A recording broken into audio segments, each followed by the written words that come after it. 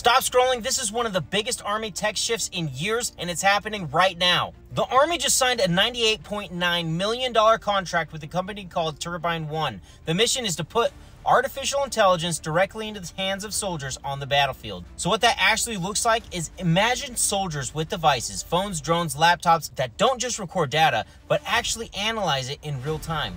A drone's camera doesn't just see a heat signature, it tells you whether it's an enemy vehicle, a civilian car, or a decoy. A soldier's tablet doesn't just display radar pings, it fuses radar, infrared, and camera feeds together to show exactly what's moving and where. Even if comms are jammed, the AI keeps working locally.